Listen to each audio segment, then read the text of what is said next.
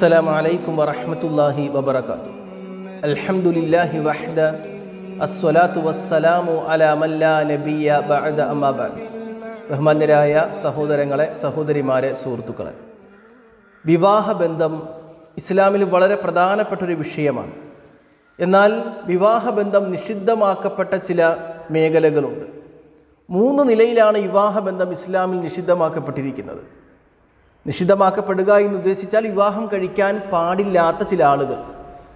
അവരാരൊക്കെയാണ് എന്ന് ചോദിച്ചാൽ രക്തബന്ധത്തിലൂടെയുള്ള ചില ബന്ധുമിത്രാദികളെ. രണ്ടാമത്തത് വിവാഹബന്ധത്തിലൂടെയുള്ള ചില ബന്ധങ്ങളെ. മൂന്നാമത്തത് മുലകുടി ബന്ധത്തിലൂടെയുള്ള ചില ബന്ധങ്ങളെ. ആ വഴി വരുന്ന ബന്ധങ്ങൾ ബന്ധങ്ങളിൽ പെട്ടവരെ വിവാഹം കഴിക്കാൻ പാടില്ല എന്നത് വിശുദ്ധ ഖുർആാനിന്റെ നിർദ്ദേശമാണ്.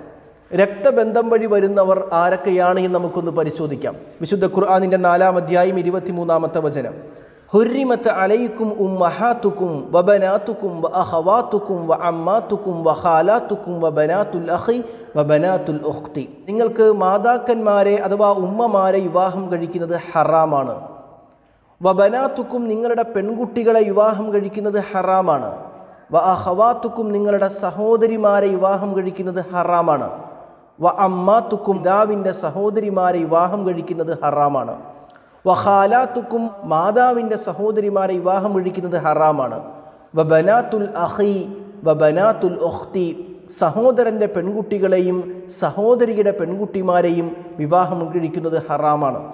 അള്ളാഹു സുബഹാനഹുവത്ത അല രക്തബന്ധത്തിലൂടെ വിവാഹബന്ധം നിഷിദ്ധമാക്കപ്പെട്ടവരെ കുറിച്ച് പറയുന്നത് ഒന്ന് മാതാവിനെ വിവാഹം കഴിക്കാൻ പാടില്ല അത് ഹറാമാണ് നിഷിദ്ധമാണ്. രണ്ടാമത്തത് പെൺകുട്ടികളെ തന്റെ ചോരയിൽ പിറന്ന പെൺകുട്ടികളെ വിവാഹം കഴിക്കാൻ പാടില്ല അത് ഹറാമാണ് നിഷിദ്ധമാണ്. അതുപോലെ തന്നെ സഹോദരിമാരെ വിവാഹം കഴിക്കാൻ പാടില്ല അത് ഹറാമാണ് നിഷിദ്ധമാണ്. മാത്രമല്ല ഉമ്മയുടെ സഹോദരിമാരെ വിവാഹം കഴിക്കാൻ പാടില്ല വാപ്പയുടെ സഹോദരിമാരെ വിവാഹം കഴിക്കാൻ പാടില്ല. സഹോദരന്റെ പുത്രിമാരെ വിവാഹം കഴിക്കാൻ പാടില്ല സഹോദരിയുടെ പുത്രിമാരെ വിവാഹം കഴിക്കാൻ പാടില്ല. ഇത് ഇസ്ലാം കൃത്യമായി രക്തബന്ധത്തിലൂടെ വരുന്ന വിവാഹങ്ങളെക്കുറിച്ച് പറയുമ്പോൾ ഇത്തരത്തിലുള്ള ബന്ധങ്ങളിൽ നിന്ന് വിവാഹബന്ധം തിരഞ്ഞെടുക്കരുത് അത് നിഷിദ്ധമാണ് എന്ന് കൃത്യമായി രേഖപ്പെടുത്തുകയാണ്.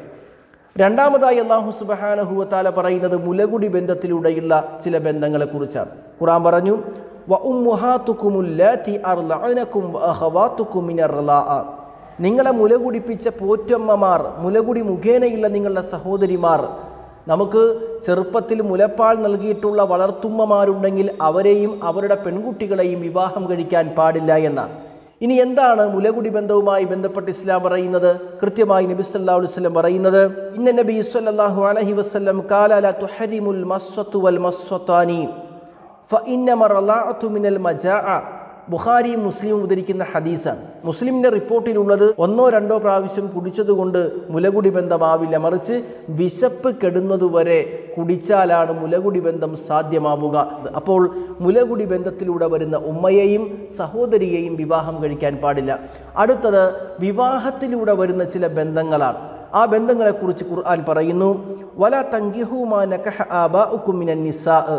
നാലാമധ്യായും അധ്യായം ഇരുപത്തിരണ്ടാമത്തെ വചനം. വാപ്പ വിവാഹം കഴിച്ച സ്ത്രീയെ അഥവാ തന്റെ ഉമ്മയല്ലാതെ ഉമ്മക്ക് പുറമെ മറ്റു ഭാര്യമാർ വാപ്പക്കുണ്ടെങ്കിൽ ആ സ്ത്രീകളെ വിവാഹം കഴിക്കാൻ പറ്റില്ല. വാപ്പ തൊലാക്ക് ചെല്ലിയാൽ ആ സ്ത്രീകളെ വിവാഹം കഴിക്കാൻ പറ്റില്ല.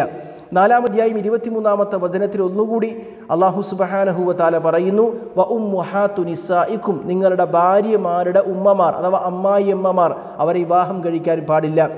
വറബാഇബുക്കുമുല്ലാത്തി ഫി ഹുജൂരിക്കും മിനൻ നിസാഇക്കുമുല്ലാത്തി ബിഹിന്ന ഫഇല്ലം തക്കൂനു ദഹൽത്തും ബിഹിന്ന ഫലാ ജുനാഹ ലൈംഗിക വേഴ്ചയിൽ ഏർപ്പെട്ടിട്ടുള്ള നിങ്ങളുടെ ഭാര്യമാരുടെ സന്താനങ്ങളുമായി അവർ അവരെ അവരുടെ സംരക്ഷണത്തിലുള്ള വളർത്തുപുത്രിമാർ അവരെ വിവാഹം ചെയ്യുന്നു നിങ്ങൾക്ക് നിഷിദ്ധമാക്കപ്പെട്ടിരിക്കുന്നു. ഇനി നിങ്ങൾ അവരുമായി ലൈംഗിക വേഴ്ചയിൽ ഏർപ്പെട്ടിട്ടില്ലെങ്കിൽ അവരുടെ മക്കളെ വേൾക്കുന്നതിൽ നിങ്ങൾക്ക് കുറ്റമില്ല. അള്ളാഹു സുബഹാനഹുവത്താല പറയുകയാണ് വളർത്തുപുത്രിമാർ അഥവാ തന്റെ ഭാര്യയ്ക്ക് ആദ്യ വിവാഹത്തിലുണ്ടായ പെൺകുട്ടി ആ പെൺകുട്ടിയെ വിവാഹം കഴിക്കൽ ഹറാമാണ്.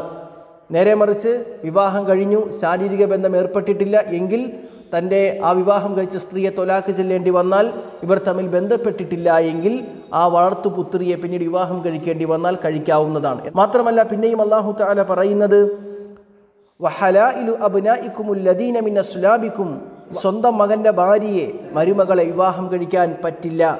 വ അൻ തജ്മഉ ബൈനൽ ഉഖ്തൈനി രണ്ട് സഹോദരിമാരെ ഒരുമിച്ച് വിവാഹം കഴിക്കാൻ പറ്റില്ല എന്ന് അള്ളാഹു സുബ്ഹാനഹു വതആല പറയുകയാണ്.